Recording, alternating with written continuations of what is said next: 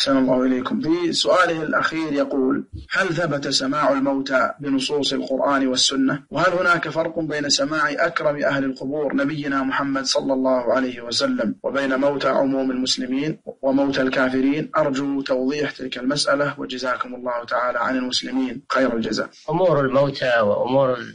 القبور هذه من علم الغيب الذي لا يعلمه إلا الله ولا يجوز أن نقول فيها إلا ما ثبت بالدليل فلا ندخل في هذا الموضوع بدون بدون دليل يدل على أن الموتى يسمعون أو لا يسمعون أو يعرفون من يأتيهم أو لا يعرفون لابد من أدلة صحيحة وإلا فالأصل التوقف في هذا أن هذا من علم الغيب الذي لا يعلمه إلا الله سبحانه وتعالى نعم